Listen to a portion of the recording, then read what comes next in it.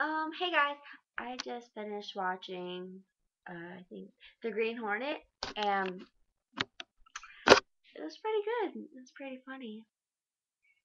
Yeah, it, it was okay. Like, it's not like my favorite movie, but yeah, I thought I'd just let you guys know that I was watching. I got really, yeah, I'm really bored. So, and I can't go to sleep. I'm not tired. Well, yeah. So leave comment of how you think Green Hornet was. Well, it was okay. Out of five, I think I'd give it like a 3.5 or 4. But it was good. Okay, well, bye.